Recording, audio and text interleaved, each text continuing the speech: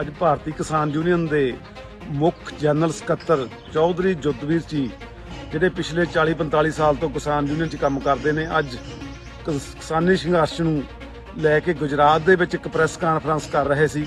ਉਹਨਾਂ ਨੂੰ ਗੁਜ- ਗੁਜਰਾਤ ਪੁਲਿਸ ਨੇ ਉੱਥੋਂ ਧੱਕੇ ਦੇ ਨਾਲ ਪ੍ਰੈਸ ਕਾਨਫਰੰਸ ਕਰਦਿਆਂ ਗ੍ਰਿਫਤਾਰ ਕਰ ਲਿਆ ਗਿਆ, ਜਿਹੜੀ ਕਿ ਇਹ ਬੜੀ ਮਾੜੀ ਮਾਨਸਿਕਤਾ ਦਾ ਨਤੀਜਾ ਕੇਂਦਰ ਸਰਕਾਰ ਦਾ, ਗੁਜਰਾਤ ਸਰਕਾਰ ਦਾ ਅਸੀਂ ਪੂਰਨ ਨਿੰਦਾ ਕਰਦੇ ਹਾਂ।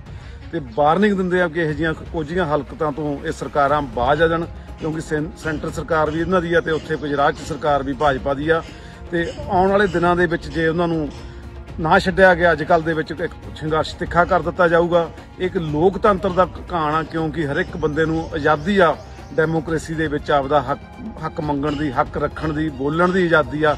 ਇਹ ਸਾਡੀ ਬੋਲਣ ਦੀ ਆਜ਼ਾਦੀ ਤੇ ਇੱਕ ਕਿਸਮ ਦਾ ਇਹ ਸਰਕਾਰਾਂ ਡਾਕੇ ਮਾਰ ਰਹੀਆਂ, ਜੋ ਸਾਨੂੰ ਪ੍ਰਵਾਨ ਨਹੀਂ ਅਸੀਂ ਇਹਨਾਂ ਨੂੰ ਵਾਰਨਿੰਗ ਦਿੰਦੇ ਆ ਕਿ ਇਹਨਾਂ ਦੇ ਬਾਜ ਆ ਜਾਣ ਨਹੀਂ ਤਾਂ ਆਉਣ ਵਾਲੇ ਦਿਨਾਂ ਦੇ ਵਿੱਚ ਇੱਕ ਵੱਡਾ ਸੰਘਰਸ਼ ਉਲੀਕਿਆ ਜਾਵੇ।